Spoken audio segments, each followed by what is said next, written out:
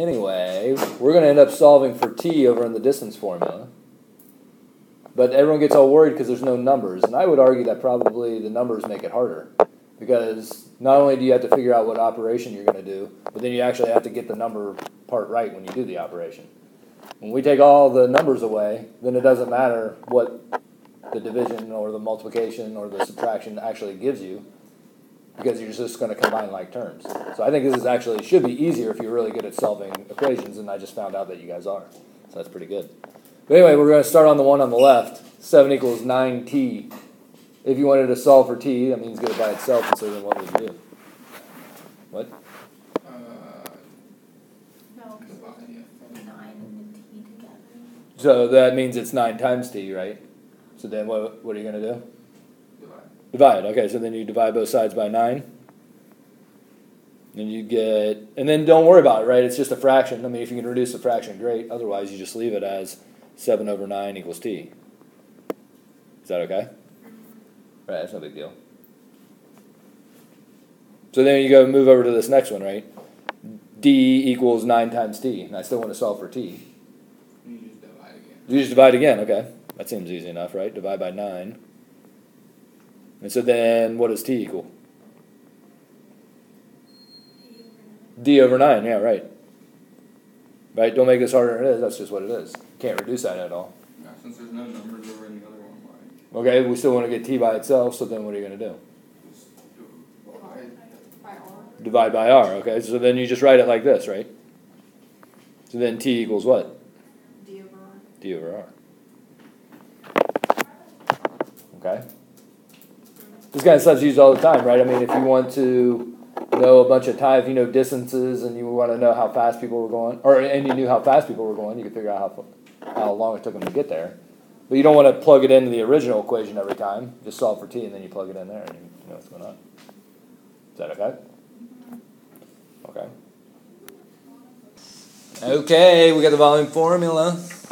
We're going to do one step at a time. If it was volume equals 30 and then the length is 6 and the width is 2, how would we find the height? Would you put a decimal in this?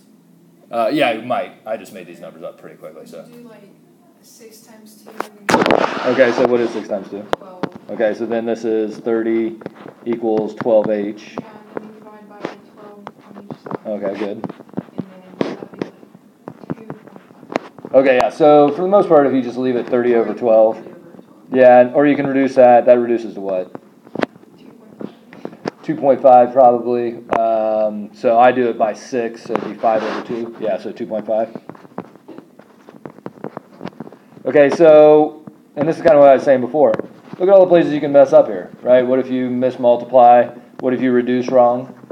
Okay? So that's why I'm, I, I think these are actually probably easier, but maybe not. So, right, all we did, we multiplied, then divided, got h by itself. Okay, so what about this next one? What do we, what would we do over here?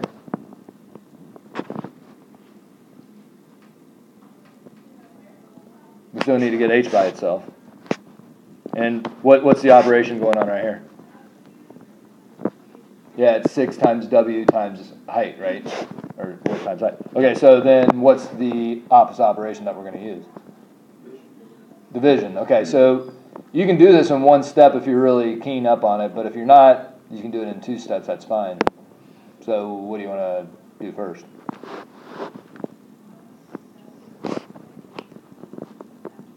Or, all, you know, I said, it can be one step. You can just do it all at once. Do you like divide H and W, or can you divide like all three at the same time? You can divide by as many things as you want at once. That's that's for sure. But we don't want to mess with h at all, though, right? Because we want to leave that alone. So let's do something. Divide six and W, right? So you can divide six and w at the same time. Yeah. Does that make sense? Is that okay with everyone? Mm-hmm. Right. There's not. Oops, there's nothing wrong with doing that at all because it's they're all being multiplied, so you can just divide them all at once. So then h equals. We had thirty over five. Uh, careful. Six. Well, keep trying to divide it. Well, okay, so if you can divide it, you should divide it. So what is 30 divided by 6?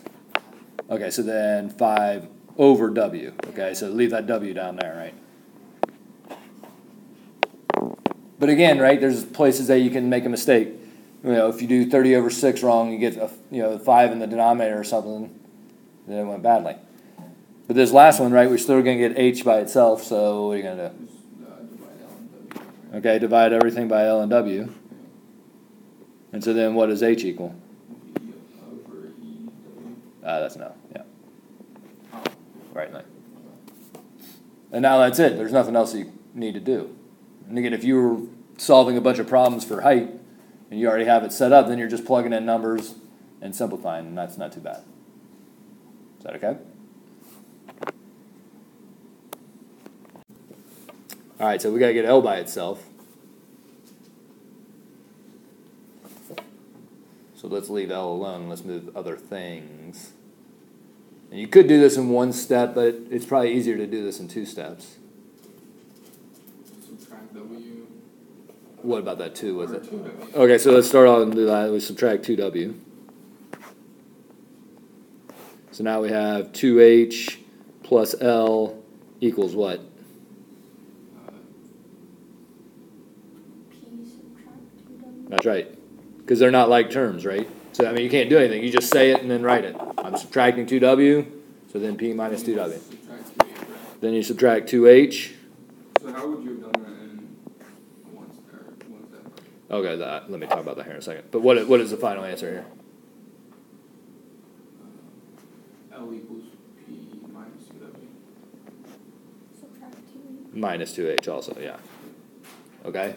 So if you wanted to do this all in one step, um, here, I'll, um, let me rewrite it here. What do we need to subtract?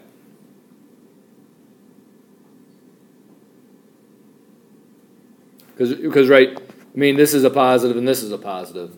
Pretty much just changed it to negatives. So yeah, and so there's a way that we can do that if you think of kind of like distribution. we can we can take this whole group. Like for instance, you could say, well, I want to subtract this whole group right here. And so then you maybe you would write it like this.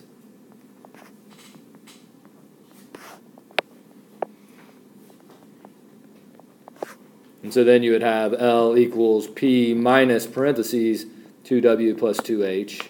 Is that the same as what we got before? Why? because it's just P minus two W minus two H.